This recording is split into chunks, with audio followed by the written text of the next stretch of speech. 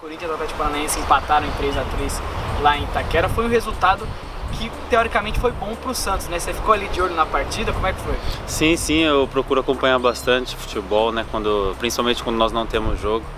E estava acompanhando ali principalmente quando estava 3 a 2 torci pelo empate, foi um resultado que nos, nos ajuda né, na sequência do campeonato e nós temos que fazer nossa parte também no sábado ganhando do Curitiba. Jogando em casa, poder vencer essa partida e aí buscar a nossa vaga pela Libertadores.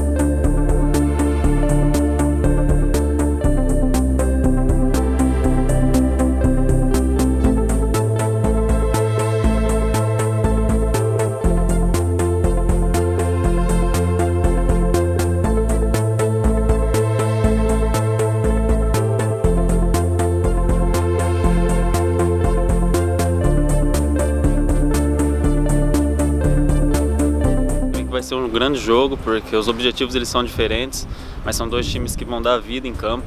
Então a gente já calcula um jogo muito difícil, mas a gente tem trabalhado agora durante a semana para fazer uma bela partida.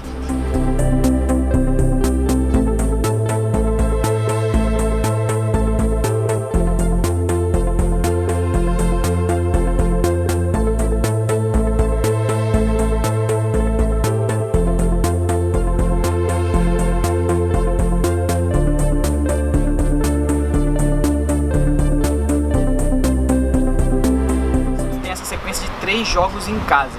Se ganhar esses três jogos, praticamente já fica perto ali da vaga da Libertadores. Você acha que essa sequência é a sequência decisiva para o Santos na temporada? Sim, essa sequência decisiva, começando por sábado, três jogos em casa, então eu creio que, que é a partir daí que a gente busca a nossa vaga.